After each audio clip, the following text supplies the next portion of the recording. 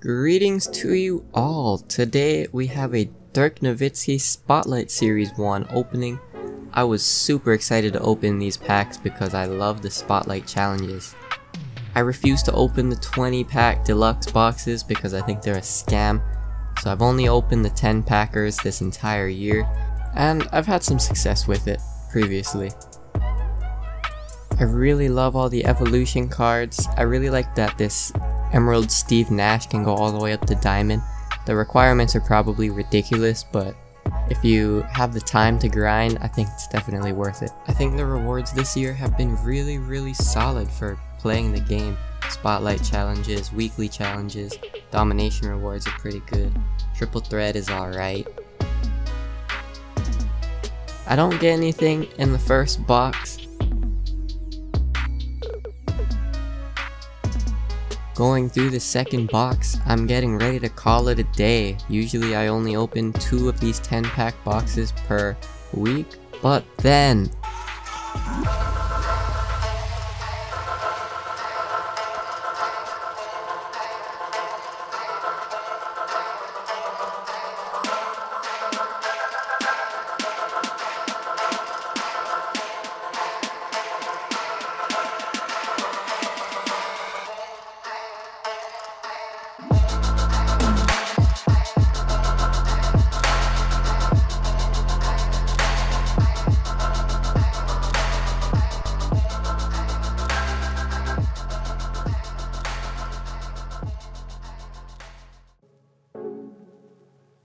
I am convinced that these 10 pack boxes are way better than the 20s.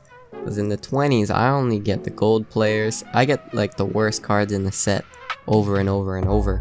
But in these 10 pack boxes, I've had much better success this year.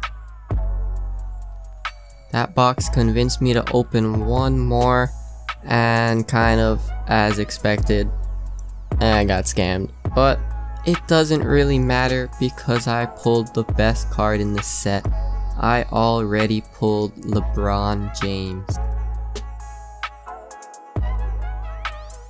I didn't realize this set was going to be so expensive to do. It's a good thing that you can sell everything back after you're through with the challenges because these prices are kind of ridiculous.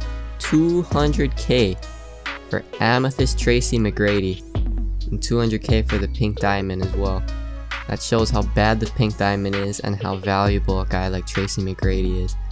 But if you're planning on completing this set just for the purpose of doing the challenge, I'd wait a week and a half or so because all of the prices are going to be coming down. I'm even going to sell the LeBron because I know his price will come down. Testing this LeBron in triple threat was pretty fun when I could actually play the game. His dunk tendency is really high. He really loves this behind the back dunk, which just looks awesome. It is easy to block though if there's a defender there. Um, his release is pretty decent. I think it's pretty easy to time.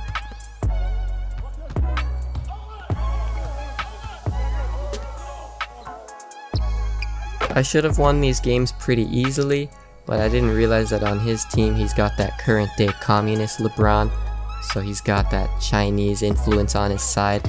Couldn't hit any shots, and I kept getting hit with this lag over and over again. So I feel like that's just because of the packs, or it could be because of, uh, you know. But anyway, let me know down in the comments if you're planning on picking this card up or any other cards in this set. If you're planning on doing the Spotlight Challenge this week, if you've liked what you've seen here and would like to see more, please drop a like and or a sub. And I will see you in the next one.